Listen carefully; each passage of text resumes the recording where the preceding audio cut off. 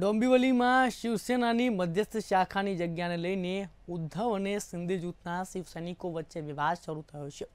ડોંબિવલીની કેન્દ્રીય શિવસેના શાખાને લઈને બે મહિના પહેલાં પણ શિંદે અને ઉદ્ધવ જૂથ વચ્ચે વિવાદ થયો હતો, જેમાં બંને જૂથના શિવસૈનિકો ભેગા થઈ સૂત્રોચ્ચાર કર્યા હતા. સિંધે જૂથ દ્વારા ઓફિસ પર કબજો જમાવવાની કોશિશ થતા વિવાદ વકર્યો હતો અને પોલીસે દરમિયાનગીરી કરવી પડી હતી.